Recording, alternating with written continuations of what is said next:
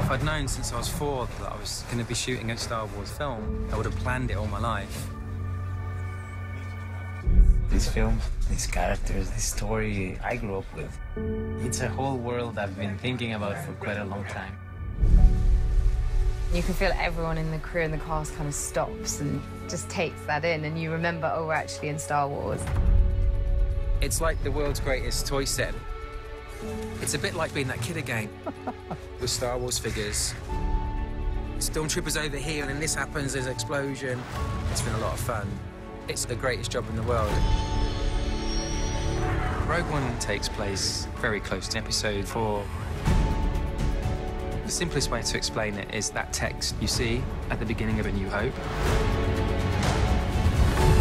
That is essentially our movie. They call it the Death Star. Terrible weapon. But there's a way to defeat it. Jyn's starting to put together a team. She wants to fight. We all do. How many do we need? It is an ensemble movie, but at the heart of it is a strong woman. The time to fight is now.